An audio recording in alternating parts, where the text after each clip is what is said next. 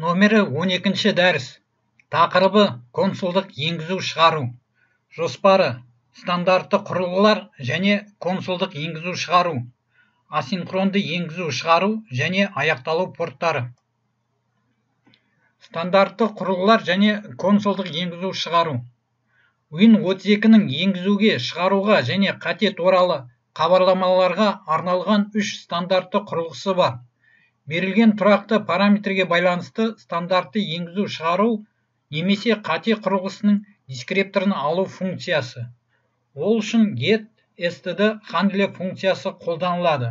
Олардың параметрлері туралы төменде келтірілген. Стандартты құрылғылар ретінде әдетте консул және пернетақта тағайындалады. Стандартты енгізу шығаруды басқа құрылғыларға қайта бағыттауға болады. Get std handle функциясын шақыру стандартты құрылғылардың жаңа дискрипторларын жасауға немесе барларын қайталауға әкелмейді. Бір және де сол құрылғының аргументі ретінде көрсетілген тізбекті шақырулар бір және сол дискриптор мәнін қайтарады. Стандартты құрылғының дискрипторын жабу бұл құрылғының одан әрі пайдалану үшін қол жетімді етпейді. Осы себепті төмендегі мысалдарда біз стандартты құрылғының дискрипторын жиі ашам, бірақ оны жаппаймыз. Set std handle функциясы стандартты деректерді енгізу стандартты деректерді шығару немесе стандартты қатені өңдеу құрылғылары үшін дискрипторды орнатады. Бұл функцияның жазылу синтаксисі және параметрлері туралы төменде келтірілген.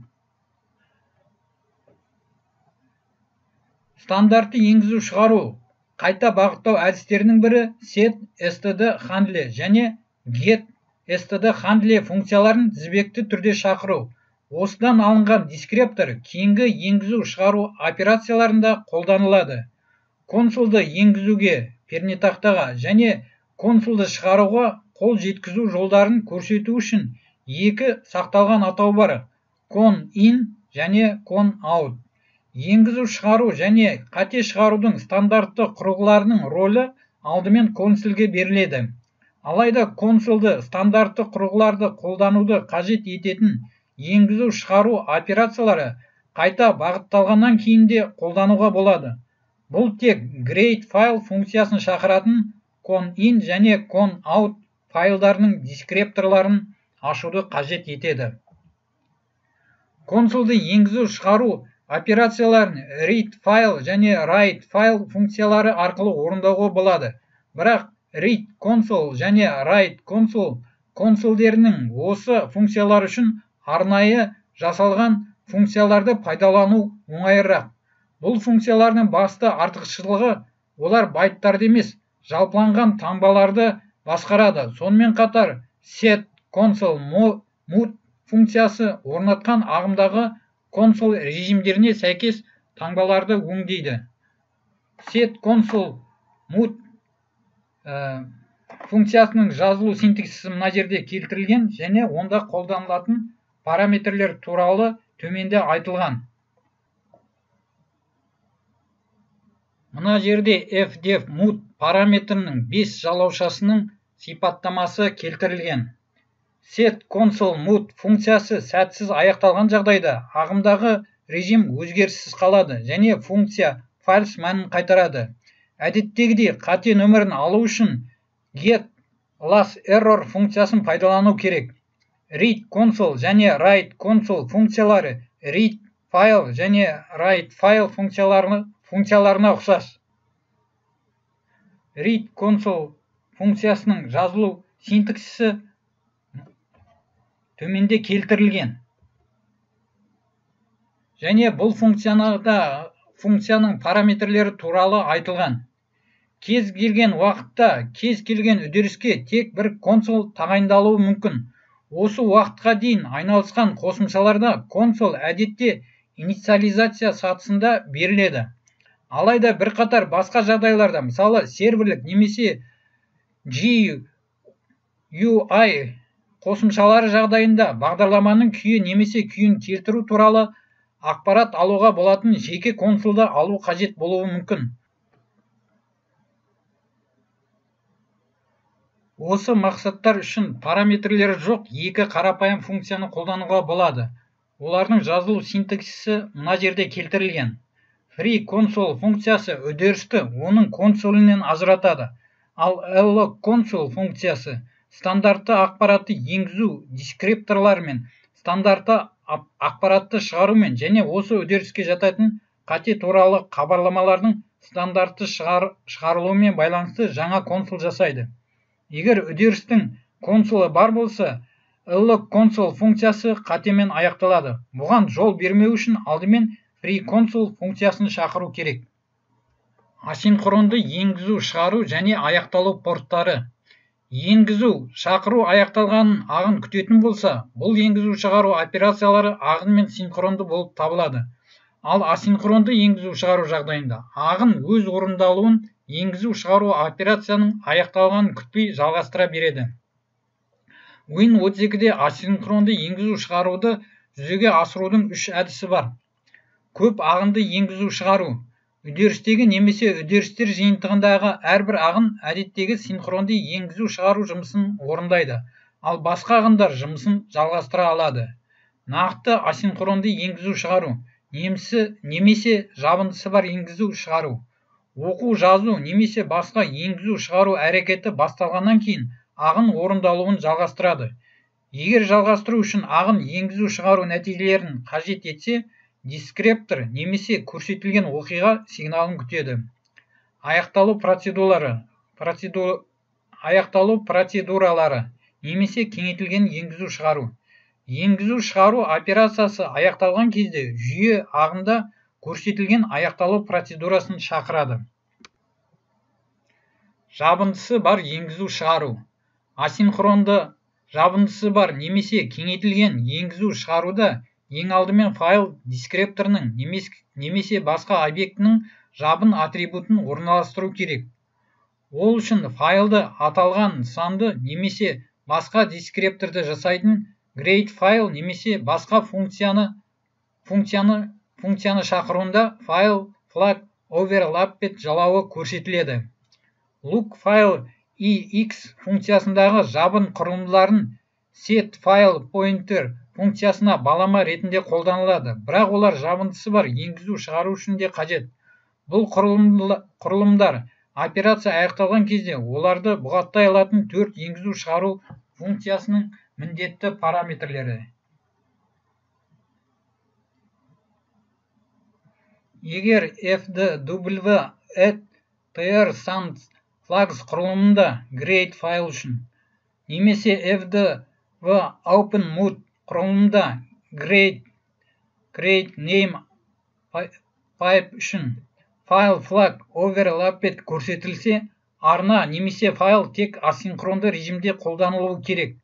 Жабындысы бар енгізу шығару анонимді арналар үшін жарамсыз. Create файл функциясы үшін файл flag no буферинг жалауы асинхронды енгізу шығару жылдамдығын арттырады деп айтылады. Жабын құрылымы. Жабын құрылымы келесі мәліметтерді сақтайды. Оқу немесе жазу басталатын файлдағы позициясын операция аяқталған кезде генерацияланатын оқиғаны. Жабын құрылымы төмендегідей көрсетіледі. Оның жазылу синтаксисі мына жерде келтірілген. Және онда қолданылатын параметрлер туралы да төменде келтірілген. Бағдарлама енгізу шығару операциясына шақыру жасаған кезде жүйе бұл оқиғаны дереу алып тастайды. Енгізу шығару операциясы аяқталған кезде оқиға белсенді болады. Жабындысы бар енгізу шығару операциясын болдырмау. Логикалық мәнді қайтаратын cancel io функциясы көрсетілген дискриптордағы аяқталмаған асинхронды енгізу шығару операцияларын болдырмайды. Осы дискрипторда бастаған шақырушы ағынның барлық операциялары болдырылмайды. Бұл басқа ағындар бастаған операцияларға әсер етпейді. Болдырылмаған операциялар қатесінің коды error operation aborted кеңейтілген енгізу шығаруды аяқталу процедурасы.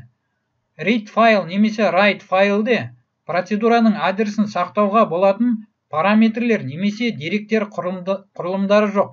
Алайда и x жұрнағымен ерекшеленетін кеңейтілген енгізу шығару функциялары тобы бар. Олар аяқталу процедурасының адресі үшін қосымша параметрге ие.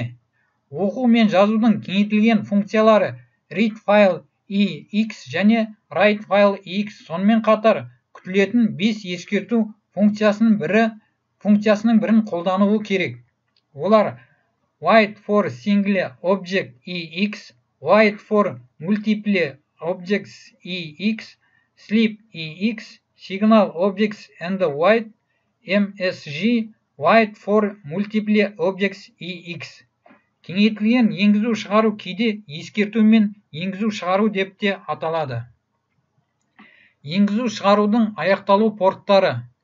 Енгізу шығарудың аяқталу порттары жабындысы бар. Енгізу шығарудың және тәуелсіз ағындардың мүмкіндіктерін біріктіреді және серверлі бағдарламаларда пайдалырақ енгізу шығаруды аяқтау порттары атаулы арналардың немесе сокеттердің дискрепторларының өте көп саны болған кезде ағындар тобында сервер ағындарының шектеулі санын жасауға мүмкіндік береді. Дискрепторлар сервердің жұмыс жеке ағындарымен байланысты емес бірақ сервер ағыны онда олар қол жетімді кез келген дискрептордан деректерді өңдей алады. Сондықтан енгізу шығаруды аяқтау порты жабылатын дискрепторлар жиынын білдіреді. Ал ағындар порт сигналын күтеді. Дискрепторлардың бірінде оқу немесе жазу аяқталған кезде бір ағын белсенді күйге өтіп енгізу шығару операциясының деректері мен нәтижелерін алады. Осыдан кейін ол деректерді өңдеп қайтадан порт сигналын күте алады. Бірінші міндет енгізу шығару аяқтау портын құру және оған жабылатын дискрепторларды дискрепторларды енгізу. Енгізу шығарудың аяқталу порттарын басқару.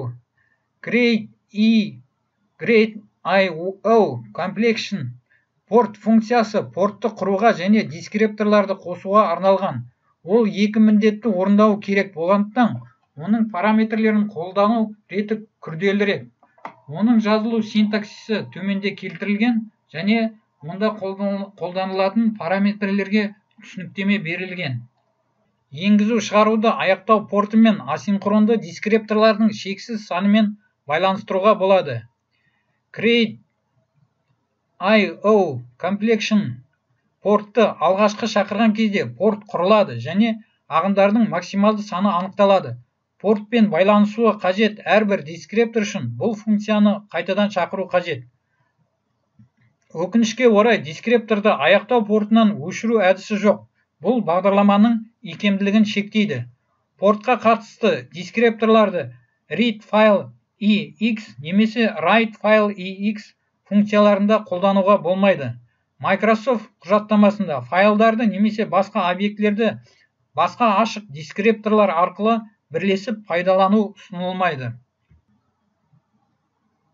Қорыта келе бұл дәрісте Win 32-нің стандартты құрылғылары туралы және консолдық консолдық енгізу шығару операцияларын орындауға қолданылатын арнайы функциялар туралы айтылды. Win 32-де асинхронды енгізу шығаруды жүзеге асырудың әдістері туралы және енгізу шығарудың аяқталу порттары туралы мәлімет берілді. Дәріс соңында бақылау сұрақтары келтірілген. Осымен дәрісіміз аяқталды.